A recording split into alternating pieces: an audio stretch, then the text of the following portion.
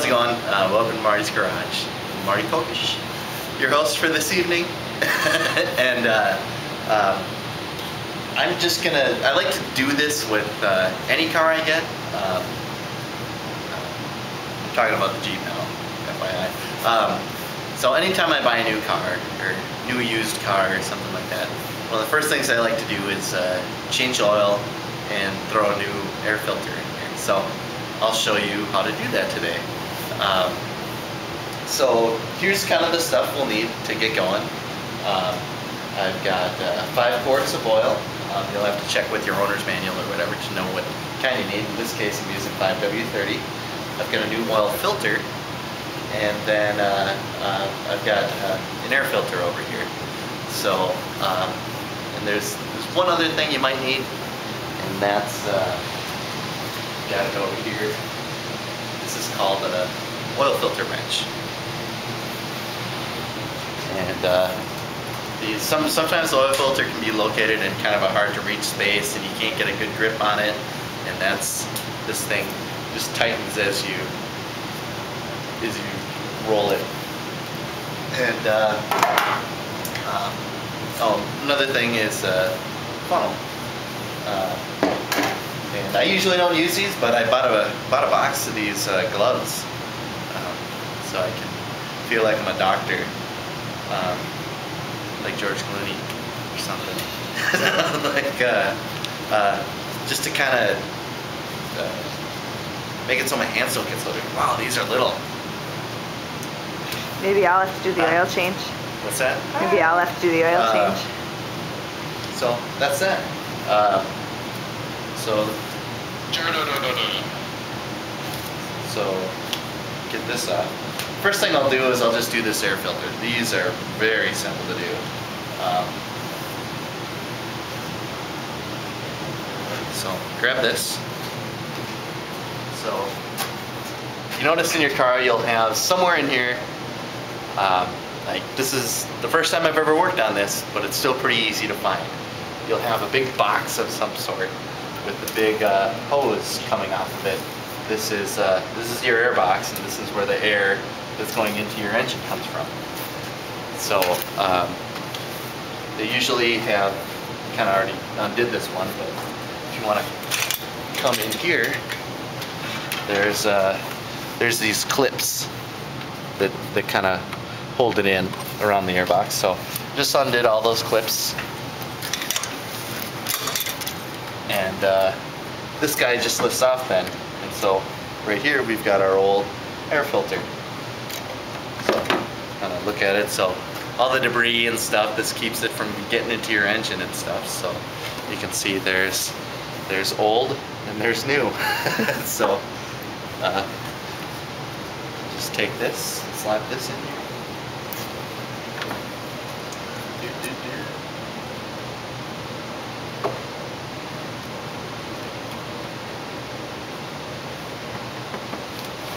That's it. And so just get this guy back on here and uh, redo those clips, but that's that's done. Um, next up is the oil change. So uh, first thing you got to do is uh, you got to find the oil filter. You got to find the drain plug um, for your on your oil pan. So um, I'm just kind of staring at this one. This one looks like it might actually be easier to access from the top of the engine. Um, I was just kind of staring down there, but uh, you can see uh, right here is our uh, oil filter. So I can kind of get my hands on it and stuff right here. So I'll uh, uh, might be easier to access from the top.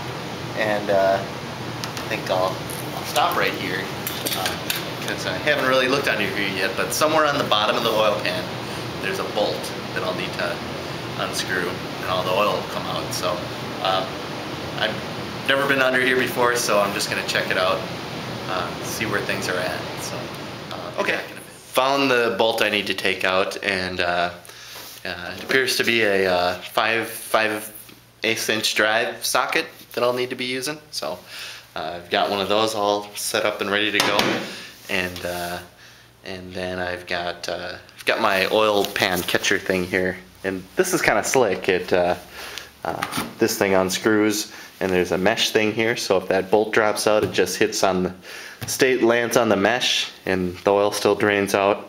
Um, and then when this is full I can screw this back on. And then uh, this top unscrews so I can I can dump the whole thing of oil into my uh, it's kind of over there by my toolbox that uh, Menards uh, bucket is where I save all my oil. And you can take that and uh, uh, have it uh, disposed at any place. Well at least here in Minnesota um, I think all places that do oil changes are required by law to uh, take your old oil. So um, that's where that'll go. So um, to start things out um, I'm gonna I'm gonna pull the dipstick and I'm gonna undo the this is where I pour in the oil.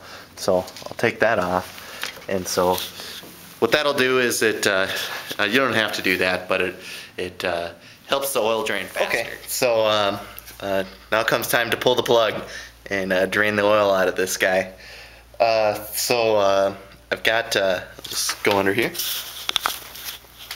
I've got the uh, my little uh, oil pan thing all set to catch the oil. It's gonna come down and uh, let's see, I'll just kind of spin this around. You can see there's the, the bolt I can take off. I already uh, loosened it up a little bit with, uh, with the wrench and now I can just kind of undo it the rest of the way with my hand. It's, it's pretty loose here. So um, what I like to do is I, I just kind of keep pressure onto it till I can find, feel all the threads come loose. Um, so that kind of keeps me from dropping it.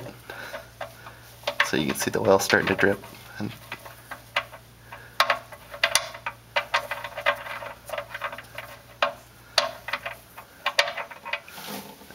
and it's all over my hand. I'll just lay the nut in the screen there. But so this is going to take a little bit, but uh, uh, just going to let all the oil drain out. Okay? Uh, be back again in a bit.